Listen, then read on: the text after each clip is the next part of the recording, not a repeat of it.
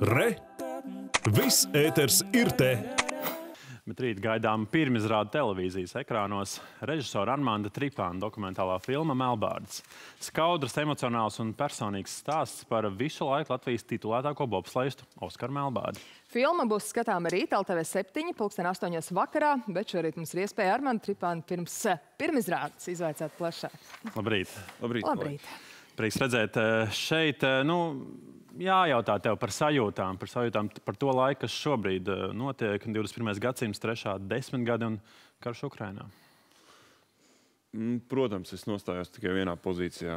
Tas ir Ukraiņas pusē, un tas ir agresors, Krievija, kas iebrucis. un Tas ir, prātam, neaptverami. un Viss pārējais, ko mēs esam jau nedēļas garumā dzirdējuši. Un, un sporta kontekstā šī filma neatspoguļo to, kas varbūt ir tagad eh, tik, tik eh, sāpīgs un, un šausmīgs. Bet, eh, Es domāju, pēc šiem notikumiem, kas ir Ukrainā, arī sporta lauciņā, sevišķi no finansējuma no Krievijas, sports vairs nekad vairs nebūs tāds, kāds viņš bija. Un, un, un, un es pat domāju, ka tas varbūt pat būs labi, ka mēs varbūt atnāksim atpakaļ uz to, to pirmotnējo sportu, kāds, kādam viņam varbūt vajadzētu būt, kas ir amatierisms, kas ir tuvāk dvēselē, kas ir uh, sev cilvēkam un ne tik daudz tas augsts sasniegums sports, kas atkal reflektē uz to, par ko ir Oskara filma.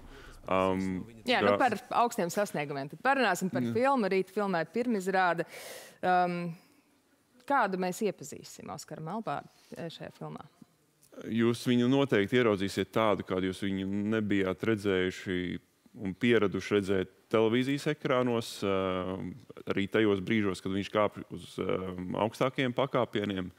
Es domāju, tie cilvēki, kas bija arī Siguldā, kad pirmo reizi uz Latvijas zemes un vienīgo reizi deva zelta medaļas no Olimpiskajām spēlēm, tur cilvēki droši vien redzēja Oskaru visu komandu ļoti priecīgu un laimīgu.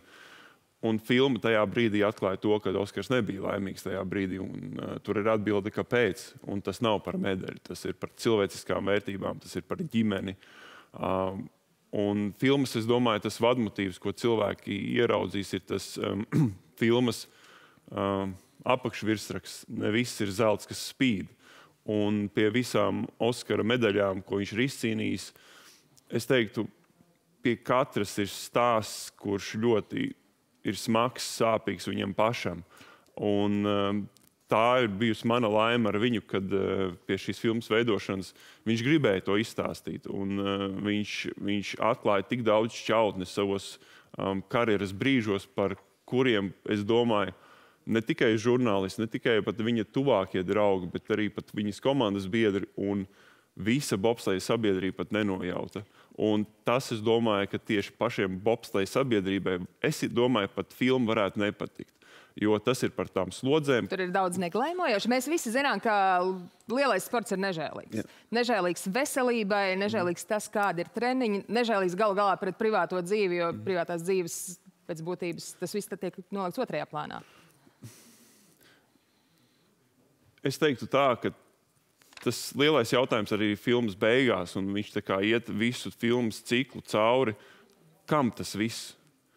Un tas uh, teikums var būt gan kam tas viss pozitīvā ziņā, un kam tas viss arī negatīvā ziņā. Un, uh, vai laime ir tā medaļa, vai laime ir tas, un tas ir jāatbild katram atsevišķi. Bet uh, runājot, es negribu teikt, ka sportisti ir ar kaut ko īpašu. Mēs katrs savā profesijā kaut ko upurējam. Jūs ceļaties, es nezinu, četros no rīta, lai būtu šeit un runātu, un, un uh, varbūt kāds no jums savus bērnus uz bērnu dārzu neaizved un tam līdzīgi. Bet domājot par tādām citām lietām, es saku, ka ir arī ļoti daudz pamācošu brīžu no sportistiem, un ne tikai no Oskara stāsta, kur mēs varam ieraudzīt, kā piecelties, kā būt stipriem uh, un ņemt no piemēra, ko mēs daudz ņemam no Ukraiņiem. Nu, Mazs piemērs ir bijis no manas pašas pieredzes, kad pēc Olimpiskajām spēlēm es aizbraucu uz kādu skolu un stāstu jauniešiem nu, par šiem mūsu izciliem sportistiem.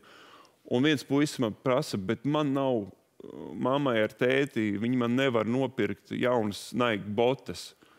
Un šeit ir lieliska atbilde filmā, kur Oskars mazs būdams iet uz gateri, lai nopir, nopelnītu sev botas. Un tad tu vari uzdot jautājumu, ko es kā jaunietis vai kā, kā varbūt tam, kuram nav tik daudz kā citiem, Es daru, lai man būtu. Un Oskars ir tas stāsts par to, ka viņš vienmēr ir darījis, lai viņš kaut kas būtu. Nu, jā, jo sacensību pārējais laikā mēs, protams, redzam tikai viņa cīņas, eh, sacensības ledus trasēs, pirmo vietu, trešo, desmito čempionu titulus. Nu, tiešām tādi skaudri stāsti. Izklausās, ka varētu būt. Es gribētu teikt, ka um, jūs man iepriekš prasījāt, uh, ko cilvēks ieraudzīs. Tas mm. būtībā būs tāds psihoterapijas seans, jo Oskars nostāja, nosēdīsies priekšā kamerai un viņš runās ar jums. Viņš nerunās ar mani kā režisoru. Es esmu tikai kā režisors bijis tas tiltiņš, lai izstāstītu viņu stāstu. Oskars runās ar jums. Kā tev izdevās viņam tik tuvu klāt? Es teiktu, ka mūsu tā mm, profesionālā dzīve, man žurnālistikā, viņam sportā mums sākās līdzīgi. Viņam pirmās spēles bija Vankūveras Olimpiskās spēles. Man arī bija kā žurnālistam, un mēs neaizbraucām abi uz Pekinas spēlēm, kas tagad bija.